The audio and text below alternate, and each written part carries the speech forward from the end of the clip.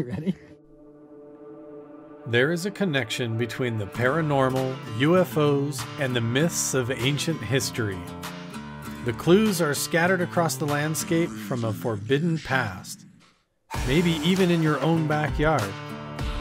There is a connection between the true nature of our reality, consciousness, and the unexplained. I'm Carl the Crusher. Let's explore the unknown.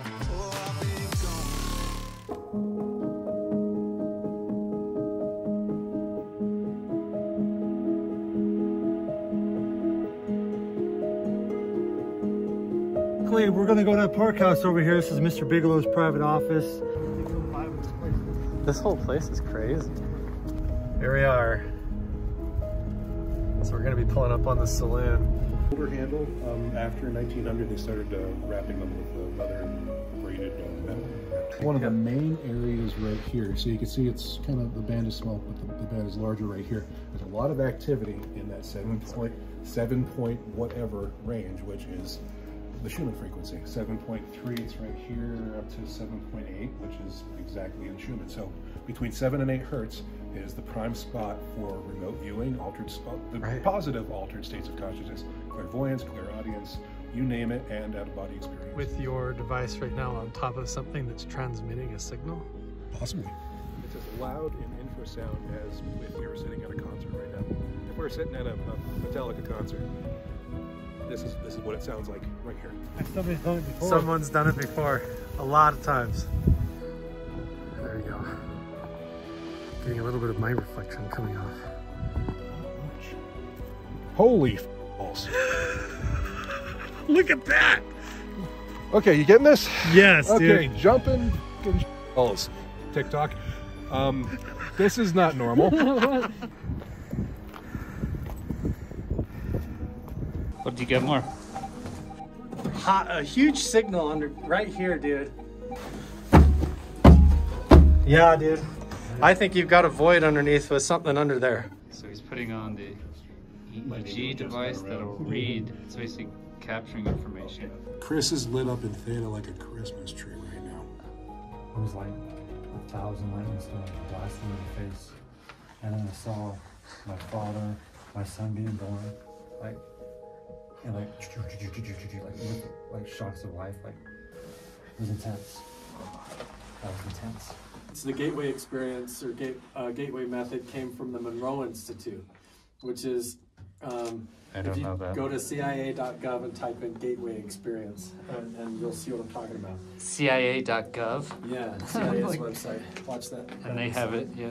but they yeah anyway, it's the Monroe Institute. They were partnered up with the Stanford Research Institute guys, as NIDS, who was all up here too. And uh, so they, it's, it's basically just been like consciousness research, trying to get people into astral projection in various states. But they were also using um, some of the Monroe tapes yeah. privately published for Army INSCOM to do remote viewing, yeah. remote viewing state. And the thought is that after that point, the Monroe Institute became basically a honey plant. Yeah. But the methodology and the technology actually works. It's just whether or not it's been tainted. Let's go over some historical context so everyone understands what we're about to do. Here's our team standing at Mount Wilson Ranch in front of the motel, the same motel where Bob Bigelow took the NIDS team and had his paranormal encounter with the ghost shaman in Motel Room 1. Here you have Hal Puthoff, Jacques Vallée, Colm Kelleher, and Bob Bigelow and the rest of the team standing in the same spot. We also have Bob Bigelow, Jacques Vallée, and Hal Puthoff standing above the meadow at Mount Wilson doing some kind of research there. Follow Hal Puthoff throughout this story. It gets interesting. We've got Hal Puthoff, Kit Green, Russell Targ, and Pat Price in the next photo. These guys invented remote viewing and built the psychic spy program at Stanford that was used by the CIA. They were remote viewing everything from Russia to UFOs to Skinwalker Ranch and beyond. Hal Puthoff, Phil Corso, George Knapp, and Colonel Alexander. NIDS, BAASS, ATIP, Project Chameleon, aka Skinwalker Ranch, To the Stars Academy, Mount Wilson Ranch, they're all connected. You've got Hal Puthoff, Lou Elizondo, and Eric Davis in the next photo. Here's Bigelow, Tom DeLonge, Elizondo all together. On September 14, 1993, Bigelow, Linda Moulton Howe, Steven Greer, Laurance Rockefeller, and a whole team of notable people were at the Rockefeller Ranch in Wyoming. The current owner of Mount Wilson Ranch, Jeff McBurney, purchased the property directly from Bob Bigelow, and he said that soon after, one of the Rockefellers actually came to the property and said they wanted Jeff to take him to see the portal. The Rockefeller Initiative included some major players. Here he is with an autographed photo with President Ronald Reagan. Reagan was announcing his Star Wars program, which included everything from MK Ultra to the MX missile program. Mount Wilson Ranch was a potential location for the MX missile site until archaeologists ran into a load of indigenous artifacts and multiple encounters with skinwalkers, the shaman, and even extraterrestrial encounters that began on the ranch. Here's Bigelow in front of the fireplace in the ranch, the same fireplace rumored to be designed by Howard Hughes himself, the same location we are researching today. NIDS was actively researching at Mount Wilson Ranch, and you can see in the photos in front of the motel, there's Hal Puthoff. Keep your eye on him because he is going places with Bob Bigelow, and it might surprise you where. Bob Bigelow, Jacques Vallée, and Hal Puthoff are going directly to Skinwalker Ranch. Hal Puthoff, Eric Davis, Erik Bard, and Brandon Fugal. There they are, standing at Skinwalker Ranch. Eric Davis was one of the original physicists and researchers supposedly conducting research at Skinwalker Ranch. Eric Davis has interesting connections to some highly public figures in the UFO community Jeremy Corbell, Garry Nolan, and Garry Nolan is the Stanford research scientist who's been going on Fox News and the New York Post claiming that people who come into contact with UFOs and paranormal phenomena can have health effects called interference syndrome. Similar MRI brain scans have been conducted on my friend Chris Bartel while he was working at Skinwalker Ranch. If you're surprised where Hal Puthoff is currently working, he is alongside Tom DeLonge at To the Stars Academy. Here he is listed on the advisory board right there on their main website. And this brings us back to Mount Wilson Ranch. Here we are, back at the hill above the meadow at Mount Wilson Ranch with Bob Bigelow, Jacques Vallée, and Hal Puthoff. Hopefully, all of this information comes full circle back to Mount Wilson from Skinwalker Ranch, and you see the connected pieces. The big part of this that connects is Chris Bartel. Chris has worked at Area 51, the Nevada test site, Nellis Air Force Base, and over six years as a lead security officer at Skinwalker Ranch, where he was asked and tasked several times to conduct psychic experiments, including trying to levitate things and do remote viewing similar to the research done at the Stanford Research Institute. The way that Chris Bartel was able to keep himself clear and his mental sanity intact was by spending his time with the dogs. Chris Bartel took me to Skinwalker Ranch personally and helped me meet the team, search for petroglyphs, retell stories, and recount paranormal experiences that we've had with the team, and even do research and collaborations outside the ranch and beyond we've been able to explore underground tunnel systems, conducting infrasound tests, and using EMF and radiation sensors in underground aquifer sensors and around Skinwalker Ranch, looking for the source of energy that might act as a portal to another dimension or a gateway that unlocks human consciousness. Chris Bartel and I are together now in the cave recreating these similar meditations and remote viewing experiments based on all of these historical connections. And hopefully, all of this makes sense now. Discrepancies, even in the sound wave files that the Gateway Experience original tapes had and the current ones. And then Brent has worked with uh, sound engineers, and we've actually, or he's actually crafted. Uh, a new version that's actually clean to use. Um, anyway, Yeah. but the idea is it's a protocol, meditation protocol, visualization system that combines ancient Buddhism with what they were trying to do, like making contact. You know, Is that recorded? Can that device actually tell if you're doing the protocol or not? Well, it can't tell exactly what you're doing. It can tell if you're in the brain state that you're, you're trying to get to. Um, so basically, the, Oh. the, the state that we try to get to with like the, my product, Materialscapes, the, the basic methodology is body asleep, mind awake. So that point where you're in the hypnagogic state, where you're just going to sleep, your body is turned off, and your mind is completely awake and lucid. that's where we want to get to. And that's, we can measure that actually with EEG. So you can, and you call that the theta brain state? Yeah, it would be theta. So the, the active working state that you need to be into to go out and get information and bring it back and be accurate with it, it's called the mental access window, which is about seven point eight hertz. It's a Schumann frequency. We believe that the, the resonant cavity frequency of the earth is the actual carrier, is the actual Signal. conduit that you need to be tapped into to get information that's not local. your head. Like when you wake up, you're like, oh, I gotta get to work, da, da, da, da, and you have this whole dialogue and thoughts going on. But uh, Taroscapes and everything that we've been working on the last couple of years is like a system where you clear all that out, clear your thoughts out, don't have all that mental chatter, but then you're also enhancing the experience by putting yourself in the perfect theta brainwave state for making contact, you know, with other dimensions or opening up to clairvoyant possibilities or telepathy or all kinds of things. But then I would guide that with certain visualization steps, like where I imagine uh, going up through a room, opening a door, and going into a, a waiting room where I invite things in. You know, it's all like trying to use your subconscious to talk to something, you know, on the other side or whatever. And the mind to mind system enhances that entire effect of what you get back. What are you reading now? This is the infrasound. So we were measuring the, uh, Chris's uh, EEGs. This device was completely charged up before we came up the hill. And it died. As soon as I put it on Chris, about two minutes in. It just died? So it's It fast died. charging, right? So But it's- it's a small it's battery, so yeah. it may charge quite quickly, right? Yeah, fast charging right now.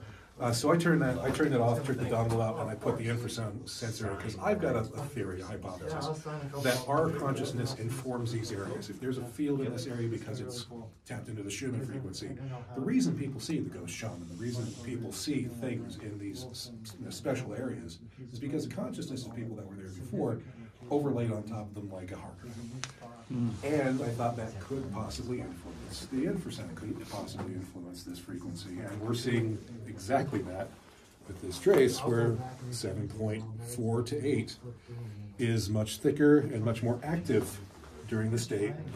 Carl and Chris were in their working state. You see more activity. And right when I would feel like I would think of Chris really solid, I'd hear him go, oh! Yeah. It's kinda Really? Yeah. Yeah. It'll be. I think it'd be cool, man, it, Yeah. to do the remote viewing. Uh, you know, Yeah. but at the end, like while they're watching. With everybody Because I was just because I was they say. also doing it. Like I Yeah. was like, you know, also trying to meditate, just holding it there, and also meditating. I think it'd be Yeah. cool to see what they. It would be interesting if everybody saw similar, you know, and don't fake it either, just be honest, you know, there's no need to. You know. All right, here we go. it's going in my ear over here on this side. Oh, there we go. Okay, so we're doing EEG readings. I'm going to do a meditation here in the cave. Uh, what do you think? Should I should I just do um, a Taroscapes meditation and try to do a contact protocol? If you'd like to, yeah. I'm just gonna, okay, That we'll do that. That'll be cool. We'll see if anything make con- makes contact. Absolutely. And what's cool is we're gonna be doing it um, on the EEG machine, and uh, Lehto's gonna be filming it. So we'll see what the results are of my brain waves. So what is this gonna capture? Yeah, this just captures, you'll see it's a brain, uh, whole visual of your brain. Full visual of my brain. Give me the, the drops here, please. Do that. There we. I'm gonna make you wait here in a second, just a little bit. Sorry. The price we pay for science. I know. So like, look. He's does pouring he, cold water Dude, down my you back are right like now. Professor X, dude. There it is. Because I am like Professor. X. It wouldn't right? work as well on me because totally my- like Cerebro. I have too much in the way. I'd have to shave my head, I guess, to get like full on. So he's like uh, Beast or Magneto. Basically. He's the, the genius. Like, Holy.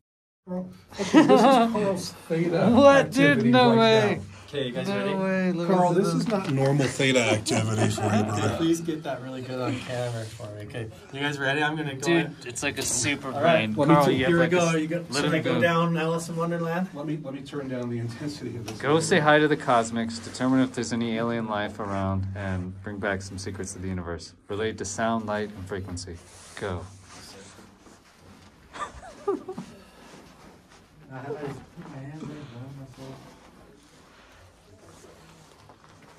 Can I put my hoodie up over top of it? You certainly can.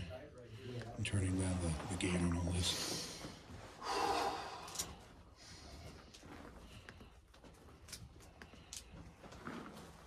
There's one rock going right on my tail. I'm going to turn down everything except theta. We're going to see what his pure theta is.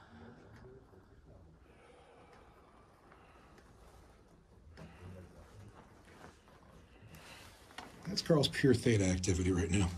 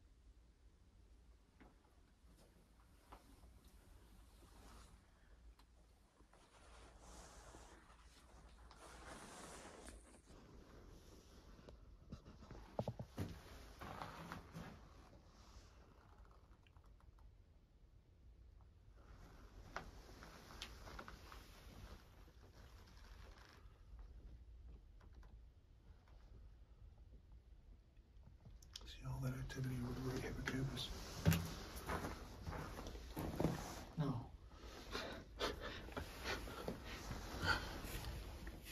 That's the hippocampus. It's right here, but this is the right hemisphere. That's where we see all the remote viewing activity. Right there. I see. Yeah, right there. It goes lighting up right now there. Yeah, it's on the right side. That's right. That's psychic ability right there.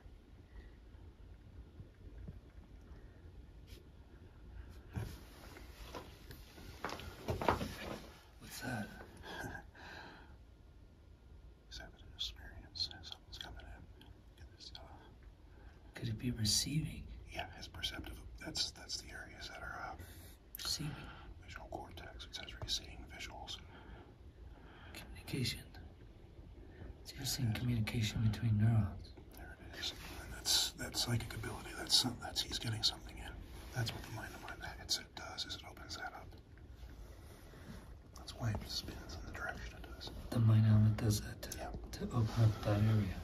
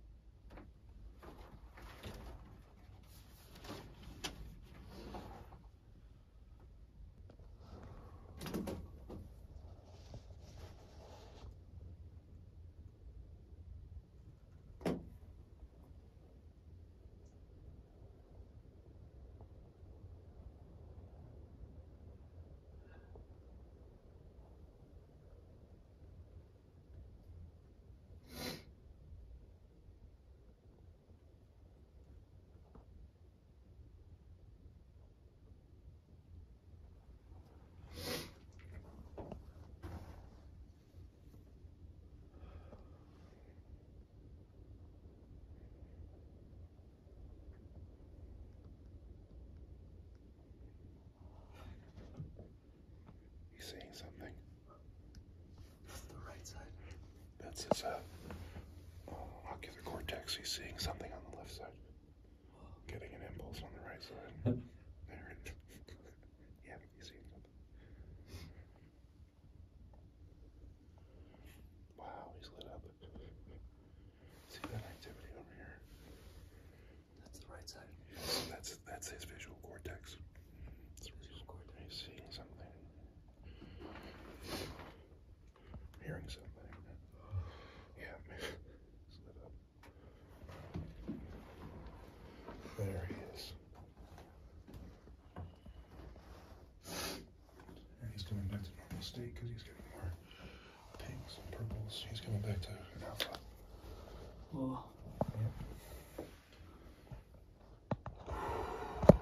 There he is. He's getting more pinks and purples right now. It's because he's coming back to a normal, a normal functioning state. Okay. Oh. What happened, man? What's that? Let it give him a minute. Yeah, give me a second. Sorry, dude, I have to record it. It was awesome, man. Dude, we're like, you don't, you don't remember hearing us. I don't remember hearing you guys. Dude, talk. we're out here, and I'm like, and Brent's like, hey, man, he's seeing some crazy shit over, and he was whispering Like I haven't, I had an awareness like this. There's like a background, a bedrock awareness that I'm still sitting, sitting in the cave. Yeah. Yeah, but you don't remember raising your arms. No, I know. When I, Here. was, I know. I raised my arms in the vision. Was I doing it in the cave? Here, yeah, you did it here. no way. Yeah. Okay. And then you put your arms down because Brent comes over and he's like, "Hey," and he points me over here, and we have it on film, you know. And he's Yeah. like, he's seeing some, he's seeing some crazy stuff now, Oh, right yeah. now. Is your right hippocampus is lit up with FOMO, so you were in a state and you were getting something in, and then your left visual system started lighting up like you were seeing a visual when you were seeing something. Oh, yeah. There you go. What'd you And see, then the rest of man? you would just light up So- randomly, hearing something. Did you get the answer to the universe, light, well, sound, like last night. any of that stuff? No, I, I did a gift exchange. Oh, cool. That's I even did a gift exchange. Was- Like a Christmas style. Pretty much. Yeah, I offered tobacco, and he basically gave me a point, like a spear point, like a thing. He, Yeah, the shaman. so you Yeah. saw the shaman again. Yes, sir. Yeah. Really? Uh, Yeah. yeah, the whole thing started. It was like I was uh, just went clear, did the the whole protocol thing, you know, where I anyway, long story, but I, so I go through my whole cleansing thing, then I open up, and then all of a sudden I do the click out where it's like a blank spot, and then it's like I'm that eagle flying over Mount Wilson Ranch. And I'm like, and I'm like flying up the meadow and around. So I'm just like soaring like out of body, you know, like lucid dream flying, flying over the canyon and up the meadow. And then uh, it's like I'm back in my meditation protocol. I'm counting like up to 12, you know, Brent knows what I'm talking about. Anyway, and then I go up to 12. I'm like, This is the- that protocol you were talking Yeah. about to, to reach a meditative state. Yeah, to get clear and make contact and all that stuff. Okay. Yeah, Get into that right ideal state of mind with the theta wave.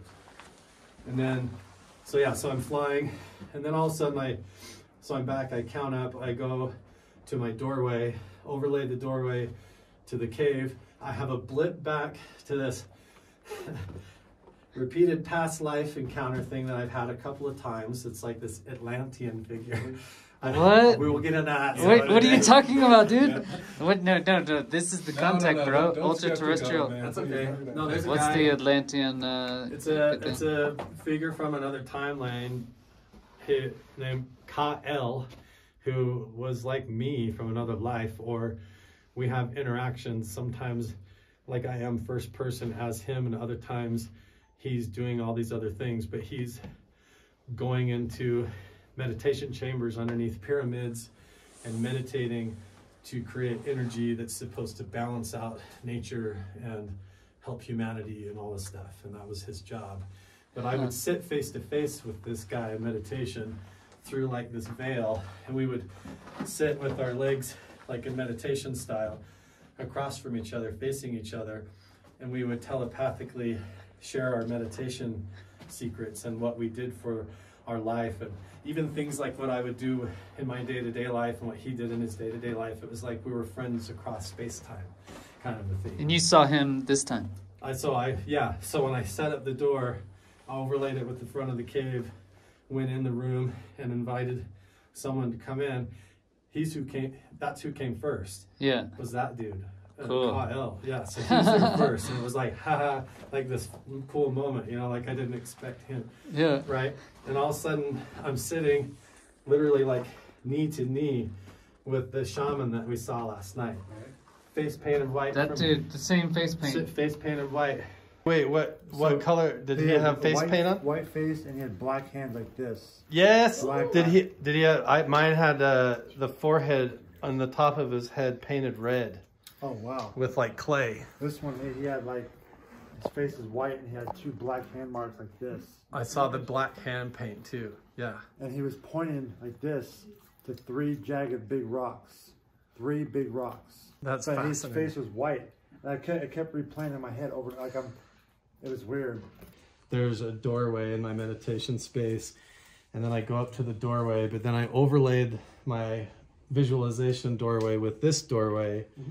And imagine opening it and inviting in the shaman. That's cool. And then all of a sudden, I, I saw him standing there, the bottom half below his eyes painted white, white face, same thing.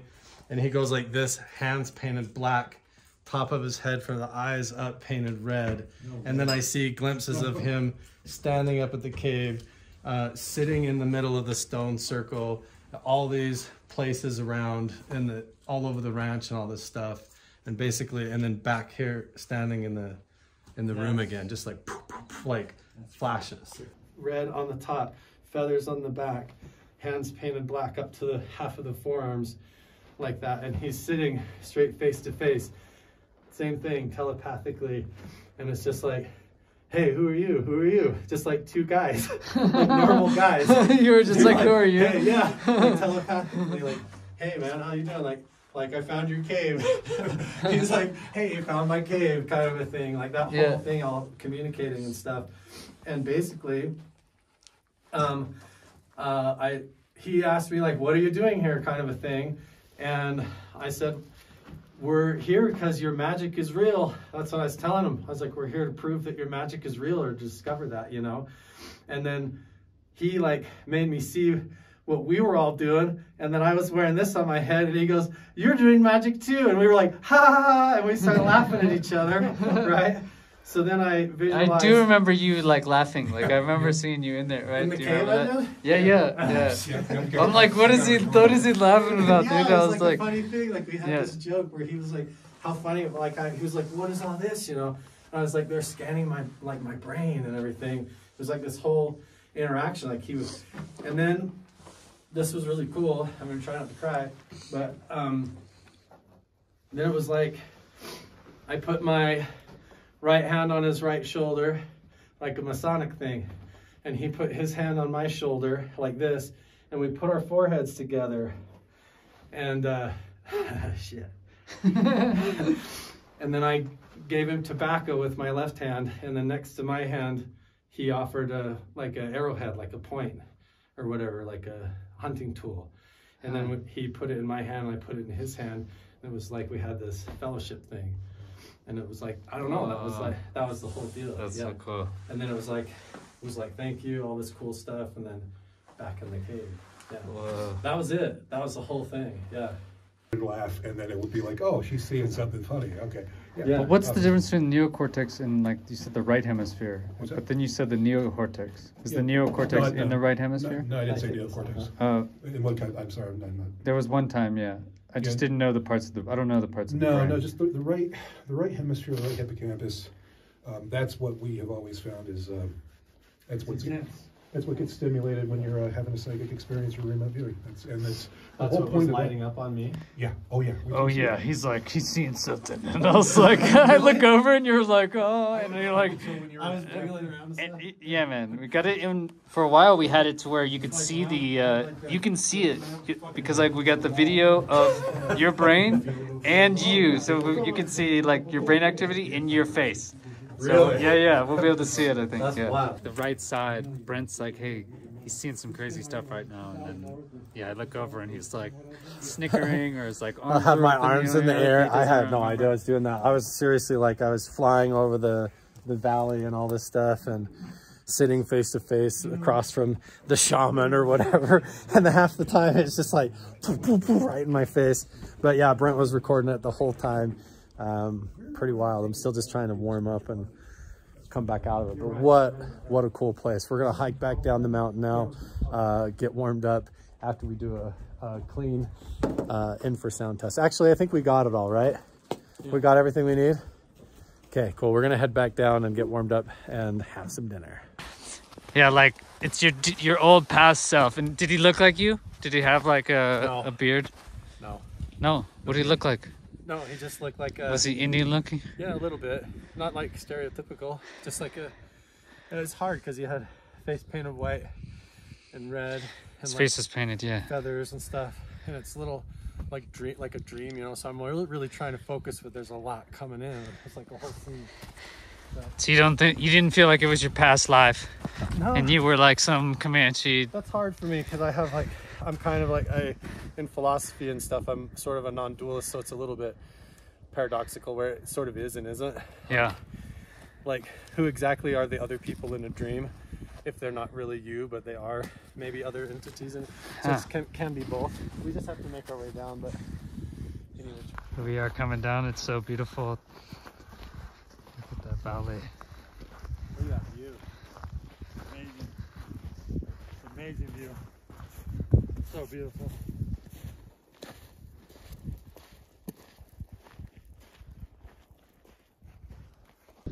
So we found these uh, lava tubes. Can you explain what these are, Carl? Yeah, they're just volcanic vents, tubes that come up out of the earth.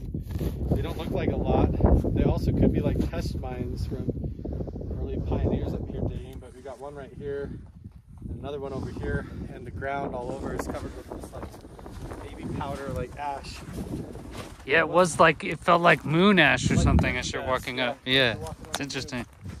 Uh, but all that ash could have come out of these holes that over a long time, maybe hundreds of years, since people have gone down in them. Maybe they just like collapsed in and filled in. But the potential to be able to dig them up or see if they go anywhere or lead somewhere is pretty high because there's one there, one here, and I think there's like three more as we go down, and they all basically lead from the cave, the circles, all the way down this kind of stuff fits with like what I was seeing with the mind to mind last night with him being in the tunnel system to get out of the rain and stuff anyways.